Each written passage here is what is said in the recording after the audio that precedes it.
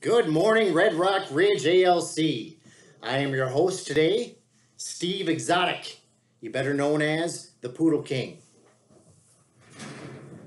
This right here, folks, is Teddy Bruschi. He is an old poodle.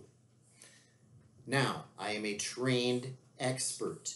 Kids do not try any of this at home. Okay, because poodles can be very, very dangerous, especially a Bichon poodle like this one. Okay, so you have to be very gentle around them. Never sneak up on a poodle. They might bite your bite your hand off. I've seen it a hundred times. Now, the reason I am here today is because around the world, the coronavirus has hit us. As poodles get old, they get these moles. And in these moles, there's some nasty, smelly stuff. It's not good. But I believe if we extract the pus and nastiness out of these moles, there could be a potential cure for the coronavirus. So, with that being said, I am going to be world famous someday. Steve Exotic, the Poodle King. Okay? Because of Teddy Bruschi. Okay? Now, I have a song that I've written especially for Teddy Bruschi. Okay?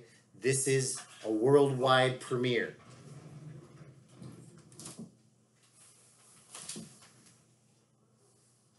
There you go, buddy. There you go.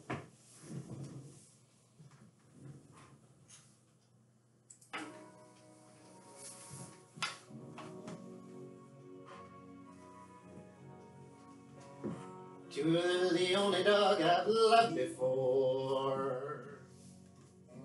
You traveled inside my door.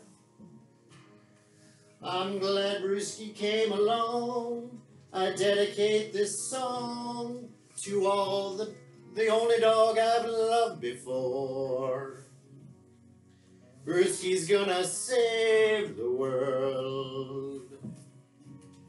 because of his smelly moles.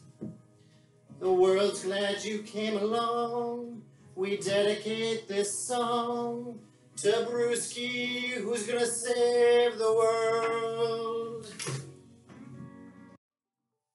All right, folks, that right there is the world premiere to The Only Dog I've Loved Before.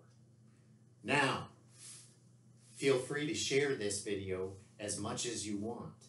And if Carole Baskin comes to my house, you can count on it. I'll make an honest woman of her. And you know what'll happen? I'll stick Teddy Bruschi on her. I will.